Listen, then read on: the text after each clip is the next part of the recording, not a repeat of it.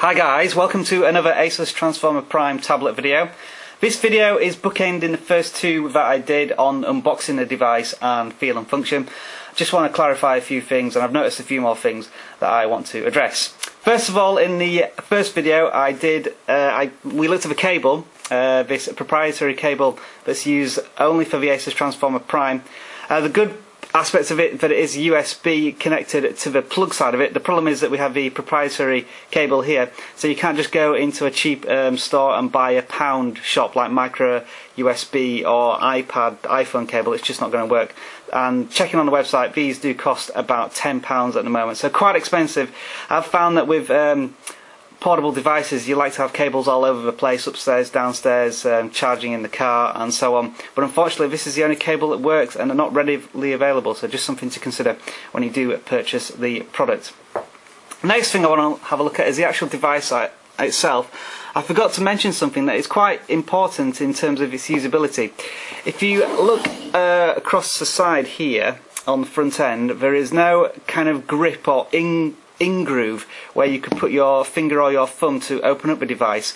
Um, if I just kind of demonstrate on a much larger laptop, uh, standard laptop, you can see here, I hope, that this bit here is kind of an incline so you can get your finger underneath the lid of a laptop and lift it open, which makes it quite easy. Not the same on the Transformer Prime, which makes it not impossible or difficult, just slightly untricky and uncomfortable sometimes you have to lift it like that, get your finger underneath it and then lift it open.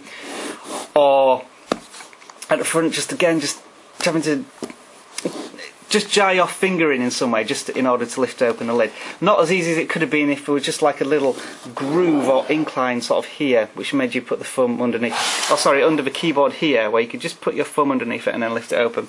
Because as I said before, it is quite top heavy so it can be quite difficult. If I just try and lift it, you see that the tablet's just lifting open you have to press down on here as well so getting your fingers in between can be quite difficult Next thing I uh, wanted to demonstrate was, as I said here, this um, base here, which is the connecting part, which connects the dock to the keyboard, is quite heavy, which means that the um, tipping point of the um, device is quite low.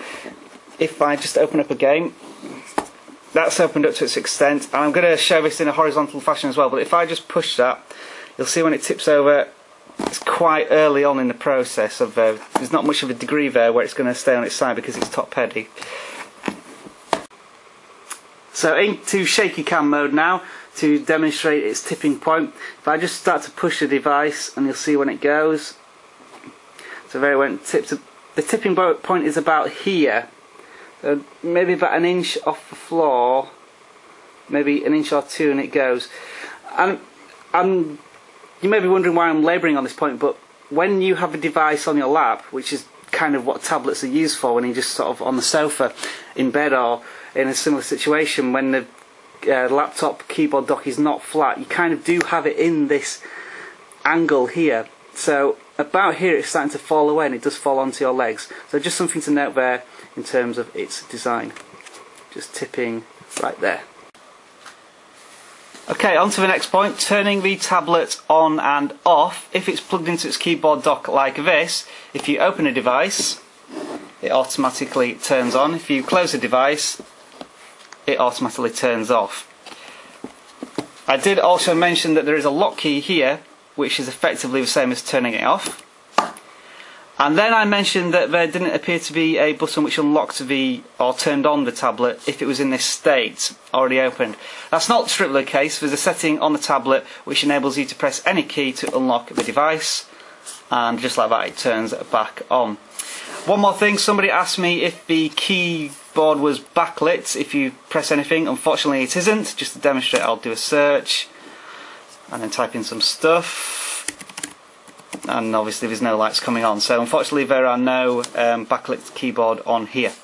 Okay that concludes this video. Very short one. Just want to clarify a few things. Any comments questions? Well uh, always welcome. And I'll produce some more videos very soon. Thanks for watching. See you on the next video